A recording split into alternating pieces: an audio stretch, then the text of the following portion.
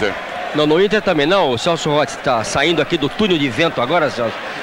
E eu queria que você pudesse falar para a gente camisinha. sobre esse, esse, essa preleção, enfim, o que, que você está eh, trazendo de novo, né? O, o que, que você acertou do seu time para o segundo tempo.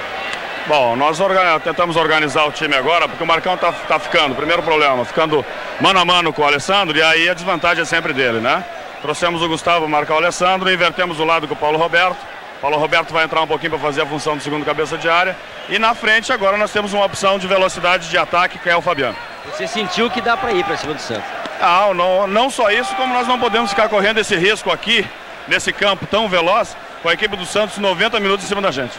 Acerte o seu aí, que eu arredondo o meu aqui na Vila Belmiro. São 22 horas e 38 minutos.